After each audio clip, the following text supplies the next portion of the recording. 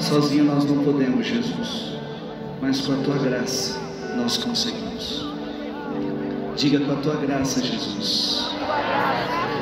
Eu consigo.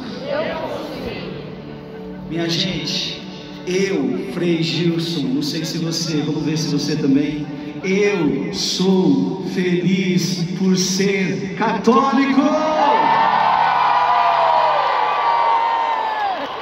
Quem é feliz por ser católico,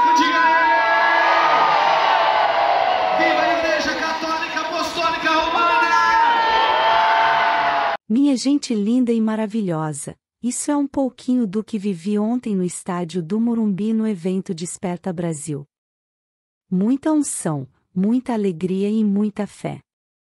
Irmãos católicos, vocês são felizes por serem católicos? O Frei Gilson fez essa pergunta ontem, a todos que estavam no Morumbi, e ele confirmou que ele é feliz por ser católico. Eu também sou muito feliz por ser católica, e você é feliz por ser católico? Escuta só pessoal, ser católico é fazer parte da família de Jesus, ser católico é amar e aceitar a nossa Mãe Maria, ser católica é fazer parte da Jerusalém Celeste, é querer ir para o céu, é querer contemplar a face de nosso Senhor Jesus Cristo no céu. Ser católico é ser universal, é fazer parte da igreja militante aqui na Terra e essa igreja é a Igreja Católica, que significa universal. Ela foi fundada por Jesus sobre o apóstolo Pedro, essa é a Igreja de Jesus. Por isso, eu peço para você estudar a doutrina da Igreja, estudar o catecismo da Igreja Católica, ler a Bíblia, estudar os antigos padres da Santa Igreja, isto é, a patrística, estudar a vida dos santos. Por que eu estou falando isso, irmãos?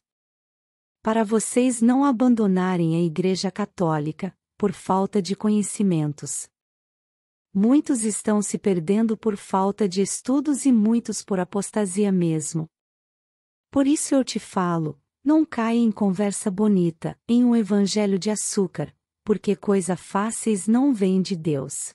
Jesus Cristo falou: quem quiser seguir-me, renuncie a si mesmo, pegue sua cruz e me siga. Viva a Santa Igreja Católica Apostólica Romana!